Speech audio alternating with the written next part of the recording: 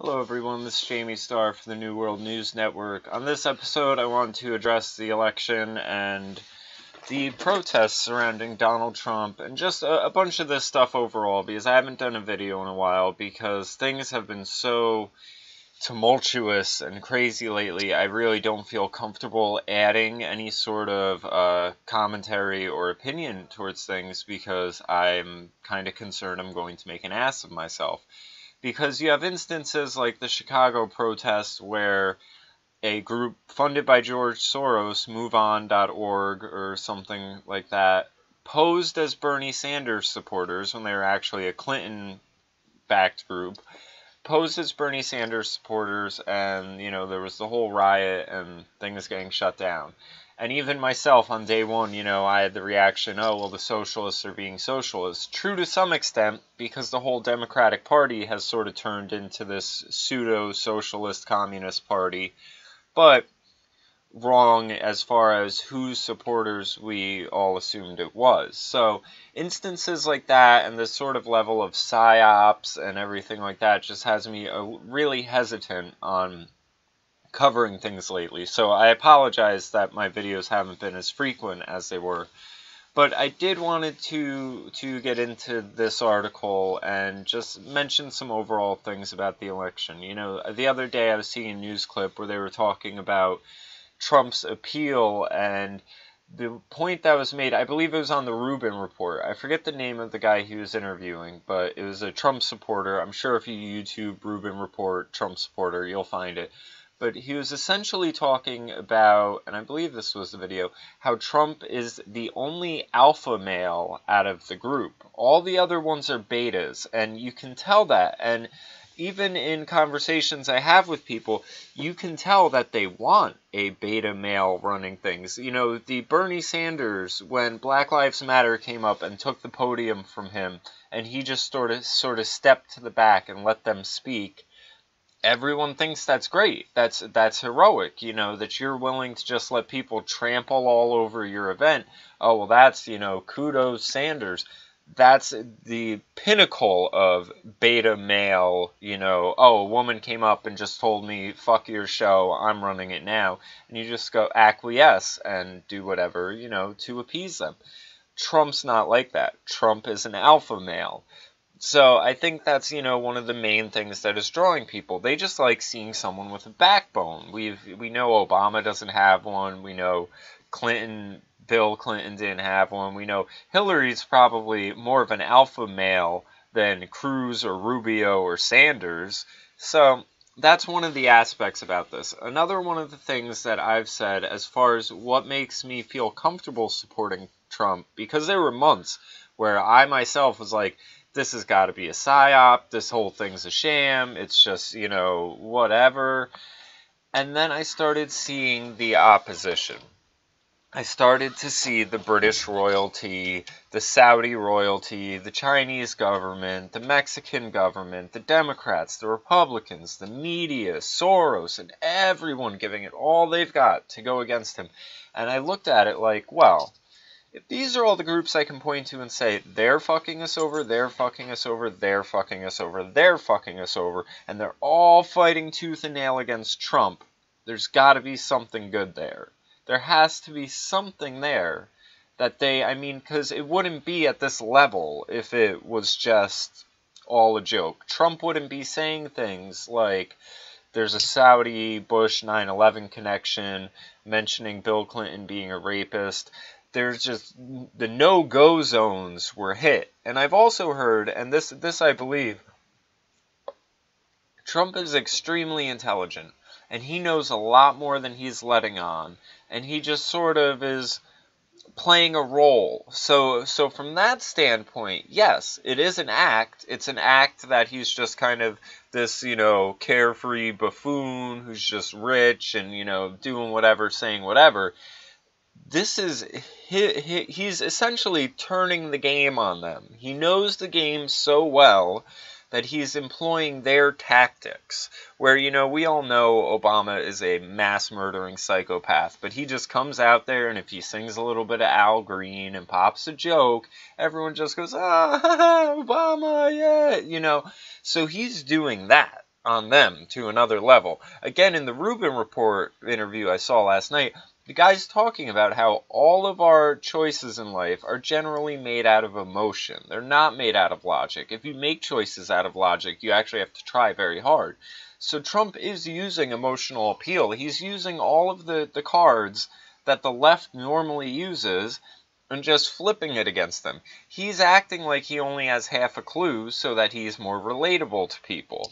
He's, you know, so it's genius on his part. I mean, it is so genius. It, I wish I could do it. I mean, I nothing but respect for for what he's doing and what he's trying to do because it, like he said you know he makes jokes bing bing bing bing. There's uh, simple little things that if he were to just be like no to this trade agreement no to this one we're leaving you know nato whatever whatever like things could end up getting fixed. It's a matter of what track you're going on. You know generally when laws are first introduced it takes them a while for them to kick in like obamacare but all he's got to do is just divert the direction, and things will end up working out a lot better.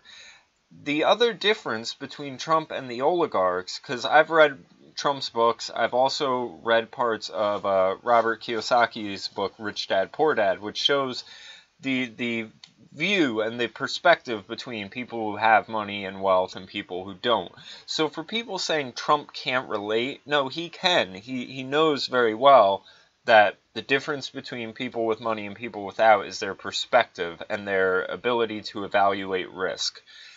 So, whereas oligarchs like the Rothschilds and Rockefellers think competition should be a sin, Trump doesn't. Trump wants Americans to be wealthy. I mean, think it's so simple because he owns hotels and golf courses. If people don't have money to go to these places, he's not going to have money. So there is a you know capitalist nature that is just ingrained into him because it's part of how he survives and does so well.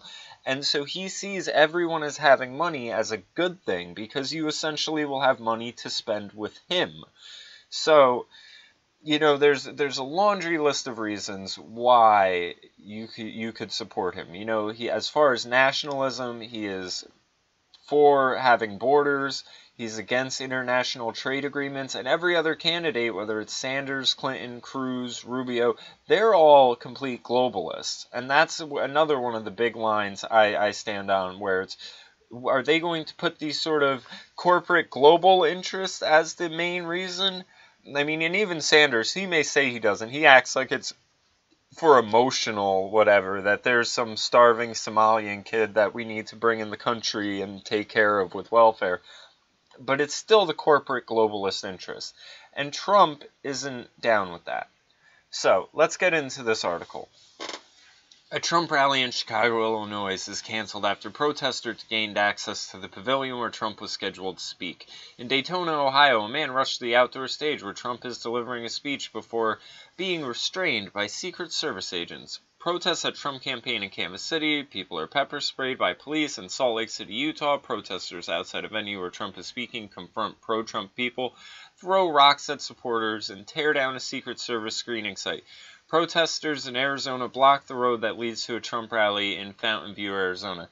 And isn't it funny how they say that uh, Trump is the violent one? You know, he wasn't throwing rocks at anyone. Like, yeah, there's been a, a few little scuffles and everything like that. But, you know, from performing in rock bands and everything like that, it is no worse than your average festival. Like, this is just what happens when you have massive amounts of people together and emotions are running high and everything like that. Shit like this happens. Uh, that's why you have bouncers to bounce people out on their heads. It's not it's not rocket science. And but when it's happening, everyone is acting like it's a like it's a surprise or like it's something we've never seen before and then you then have the media mixing clips where they'll show him saying oh i'll pay for your lawyer fees and then a clip from a different scuffle and sort of just intertwining them all so it just sort of seems like this ongoing long mess. They do it with the uh, the shooting incidents too. Anytime a someone gets shot, oh, you know, this is the whatever whatever shooting of a unarmed black man or the whatever whatever mass school shooting or you know, they try to keep this it's this ongoing issue that we need to stop rather than just saying, okay, yeah, that happened over there yeah, it's similar thing happened over here, but they're isolated different events. The only commonality in these is, you know, the Trump rally thing. So, um, Another thing I want to point out real quick Anonymous. I think it's very funny that Anonymous has come out and said that they need to take down the fascist Donald Trump by giving out his personal data and data collecting and sort of snooping and hacking. And it's amazing to me because the Nazis would target people. They would use data collection and what, you know, data they would get on people to go after and intimidate their political enemies. So you're basically fighting a fascist with fascism and fascist tactics. It's it's this sort of disconnect I continually see. The the people standing up for peace and equality are the ones shouting people down and throwing rocks at them the people who are fighting fascism are using fascist tactics left and right. It just keeps going on. And there's such a disconnect. And I, I don't know where it comes. My, my only guess is the education system. The education system is just drilling into these people's heads and causing it so they can't think. Like it's, and then part of this is, is shown in this article on the right, there are serious doubts about Trump's sincerity when it comes to policies or positions near and dear to conservatives. The conservative movement in America has largely purged itself of its racist nationalists, which now flock to Trump's rhetoric, despite the left's best attempts to describe conservatism as some stealth racist movement. This, what you have going on, and and this is the way things really work, is certain groups that have certain beliefs vote for certain policies. The KKK will always vote for whoever is going to keep abortion going. Some years there are more blacks aborted in New York than born. Who do you think likes that? The KKK does. So they're going to back whatever candidate backs abortion. They backed Obama because of this. Same with welfare. They see welfare as a way to keep people on the government plantation. If they're on welfare, they're not excelling themselves in any sort of manner. They're just getting their government rations, so they will back whoever backs the welfare state. The KKK has always been the terrorist arm of the Democrats, and they always vote Democratic because of it. So, you also, though, have some of these other nationalist groups, white supremacist groups, whatever, backing Trump over the closed border thing. I mean, that was David Duke's whole thing he came out and said, I don't really like Trump, I don't really endorse him, but I like his immigration policy. And he's the only one with a policy like that. That's how that whole bit happened. It wasn't him being like, oh, well, we need to keep our white supremacy in place, so let's, you know, make sure we vote for this guy because he's a white supremacist. No, not at all. It's it's not that simple. But that's how the Democrats train their followers to think. They regularly refer to innocent statements as dog whistle truisms. This, if you saw my Melissa Harris Perry video, she was one of the, the top people employing this tactic. If one refers to states' rights in the context of gay marriage, the left to the left, that is just dog whistle statements to Jim Crow laws, and the list goes on. Another perfect example is using the phrase welfare reform. To the rest, this is simply implied racist utterance. This writer contends that if no one sees or hears race in every statement, the listener is a true racist. So it's, you know, why if you say abortion, then you're anti woman. If you say immigration, you're anti Mexican. If you say welfare, you're anti black. And they've trained people to think in this manner, and it has this sort of snobby intellectualist, you know, overlay to it where these people think they're the only like they think they're catching on to something like it's an aha moment and that's why they stay viewing things like this because there's this sort of self-righteous self-gratifying you know like you figured out the puzzle. Like the person wasn't just talking about reforming immigration they were actually talking about how much they hate Mexicans and you're the only one smart enough to figure it out. It's an insane narcissism really that just keeps this going and I, and you see it in these in these leftists where again they're so narcissistic and they're so self-righteous that they will punch someone in the face and be like well, I had to punch him in the face for peace and justice. And it's like, really? I, I mean, you look at these people like they have fucking extra heads growing out of their shoulders and shit. So, um, this article goes on and says, you know, I don't know if Trump is racist, but I know he's not a conservative. And this is one of the things that, you know, I keep hearing now people, they've said it from the beginning, oh, well, he's not a real Republican, he's not a conservative. That's a good thing. Where people are sick of these parties. People are sick of it being so, oh, over there, whoa, over there. I mean, realistically, as far as social policies go, Trump is a liberal. Trump doesn't care what you do with yourself and your free time and everything like that. I mean, he doesn't want these crazy black market, you know, drug smuggling going on and everything like that. But it's it's he's you know conservative as far as spending and the economy and everything like that but he's liberally socially liberal, which I mean, I definitely that's the same way I see myself, and a lot of people see themselves like that. They they aren't so divided and stuck in these party lines anymore. And Trump is more of a centrist and a populist, and that's again what's what's fueling this. And some people can't stand that. They need people in these boxes. They need to know oh, well, if you're a conservative, this means this, this, this, this, and this. You don't have any individuality. You don't have any difference. You're a part of that herd. And it's because people are able to then attack you by that. They prefer things to be that simple, that cut and dry. Um, so, let's see the the main thing here, you know, we have they go on about the George Soros printed signs and the whole thing about how they were coached to protest and to shut down the thing. And this person who is a conservative is basically saying they just they don't want the help from the left because the help from the left is amplifying this. In Kansas City, Melee, there were representatives from Black Lives Matter movement in Chicago, the radical Latino group La Raza was well represented in Salt Lake City, a local radical Latino group Proyecto Latino that led to rock throwing. One suspects that as this campaign draws on, more and more leftist groups will join the cause and protest Trump. Now, you don't see the KKK showing up to uh, Bernie Sanders rallies or, you know, a white national nationalist group at a Hillary Sanders thing.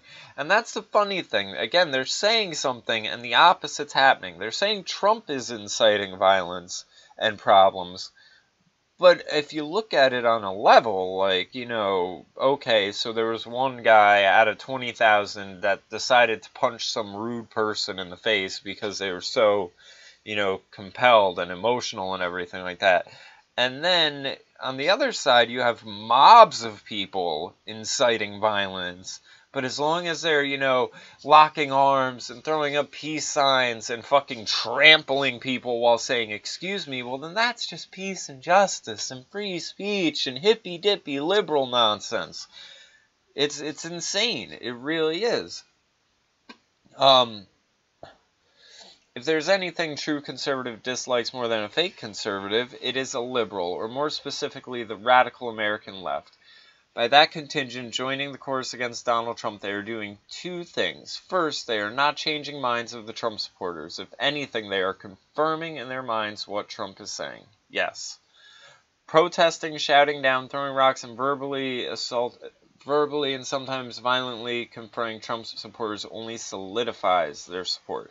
Second, their actions only generate sympathy for Trump among the fence sitters. The last thing the Republican Party or conservative needs is people to flock to Donald Trump based on emotion, and sympathy is certainly an emotion. With every violent confrontation, these groups are driving people to Trump out of spite.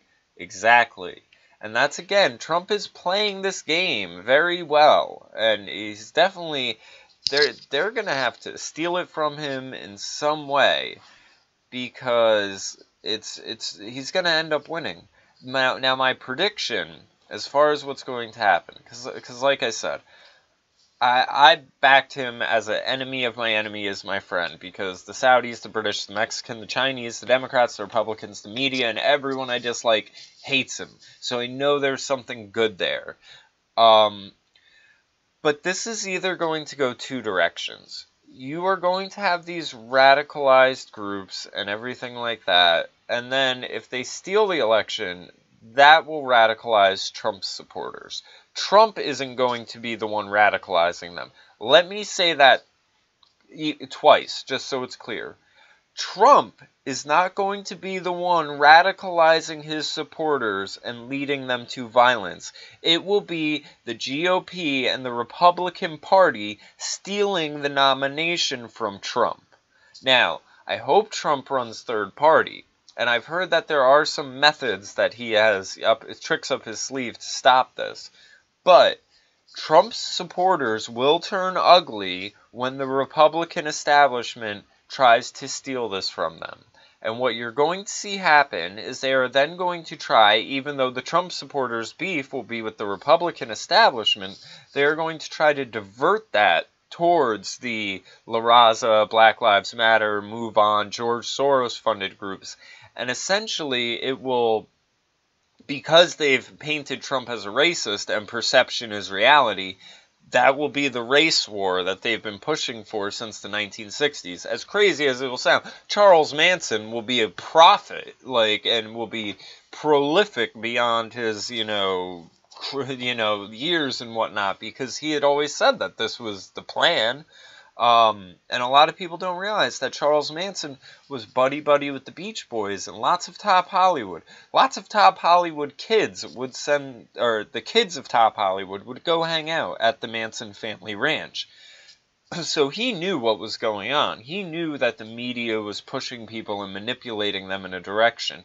The same thing, you had Al Gore come out and say we need a democratic spring, like the Arab Spring that's why social media is perpetuating this and and fueling it. You, you same thing. I'm sorry, I'm getting stuttery.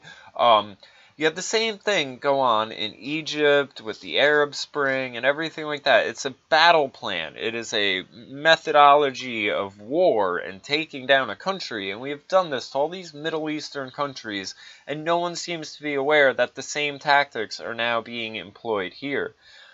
I even on Facebook, you know, I've had several friends in this week just be like, I can't go on here anymore. The hate is too much. I'd even said, uh, the thing I look forward to most is everything I thought was corny. Pictures of people's fucking dinners and pictures of their kids getting ready for school. I would rather see that than the amount of hate and animosity that is fueling social networks. And it is this herd mentality where people just feed into it. I feed into it. Everyone feeds into it. But at some point, we need to catch ourselves and, and stop ourselves and say, is this really what's best? Is this really how I should be responding to this? It's not that deep. It's not that serious. And you really can't let yourself get that wrapped up in it because then you risk the chance of being radicalized yourself. Therefore, the American left needs to stop the recruitment and fundraising campaigns, put down the rocks, signs, and banners, and just shut the hell up. Let the GOP and conservatism take care of its own this guy's condoning them stealing the race from Trump. You had it on a news broadcast even where people were talking about how the party elects the front runner, not the people. And the person was like, "Well, why do we even hold primaries then? Why do we even let the public vote?" And the person went and said, "That's a good that's a good question." So they're openly now just stealing elections at the primary level in front of people.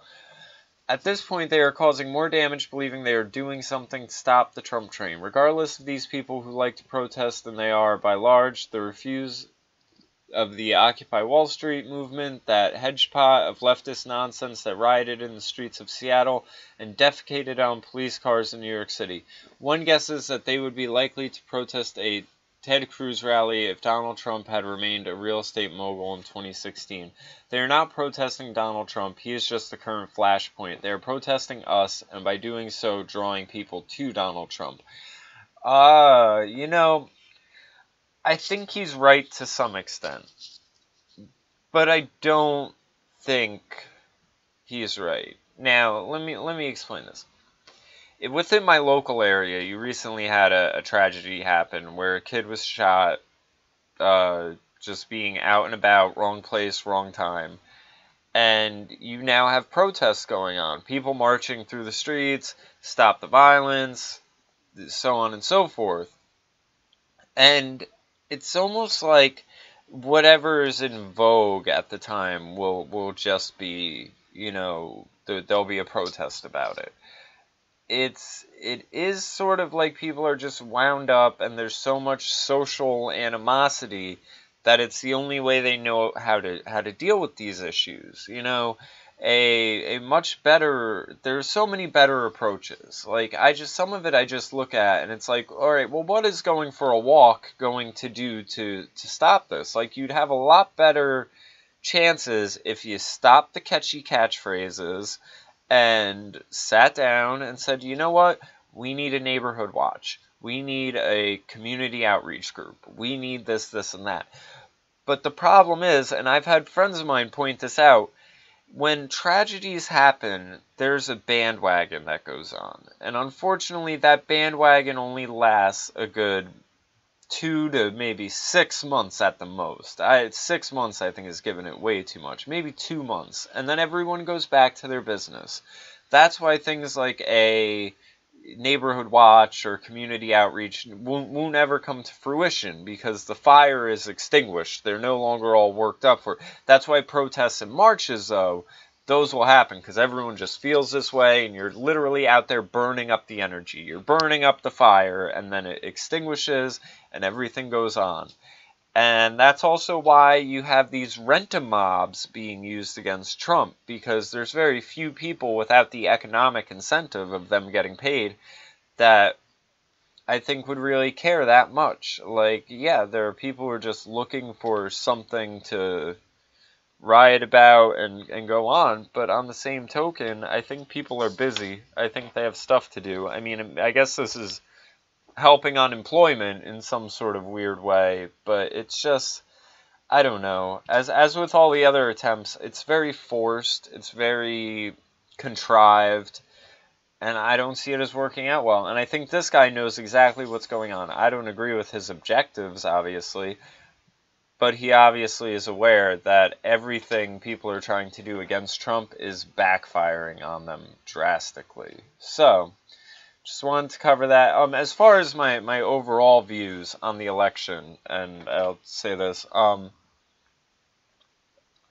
this only goes two ways.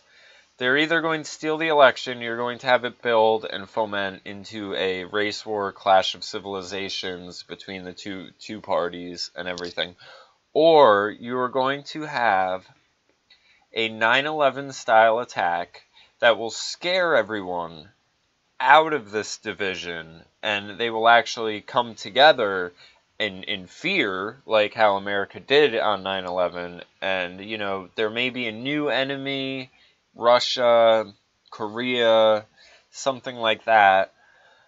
And everyone will unite against that enemy, but you will also have Obama cancel the elections. So then that will still steal the election from Trump. His supporters will become restless, and it's this is oh, this doesn't end well. That's that's all I can say, and that's the worst thing about it. And that's again why it's sort of discouraging covering all this stuff lately because it's just not going to end well. It's going to end with mayhem and chaos and the police in the streets with tanks and it's going to be a messy year. If you can get out of the country, I would encourage you to get out of the country.